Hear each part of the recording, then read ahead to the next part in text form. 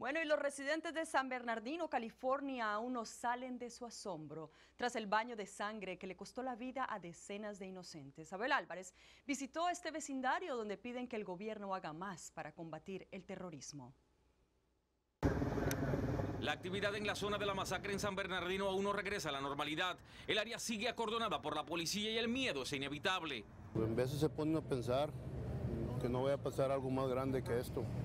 La gravedad de la ocasión está marcada por amenazas cada vez más cercanas a otro ataque terrorista como el 9-11 y la tibieza de Obama por tomar acciones concretas. Necesitamos un gobernante que esté más dispuesto a luchar contra el terrorismo. Congress should act to make sure no one on a no-fly list is able to buy a gun.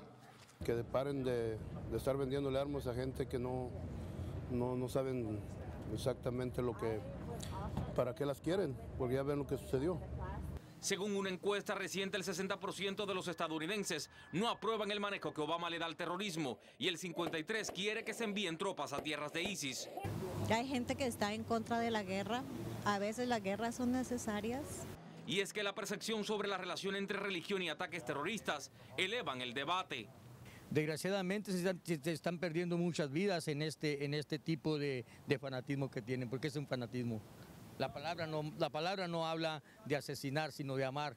Tras la masacre ocurrida en San Bernardino, Jeff Johnson, secretario de Defensa Interior en los Estados Unidos, dio a conocer que en los próximos días se lanzará un nuevo sistema de alerta terrorista para que las personas conozcan de manera inmediata y no por filtraciones del gobierno o reportes de noticias como el nuestro. Desde San Bernardino, California, soy Abel Álvarez, noticiero Estrella TV.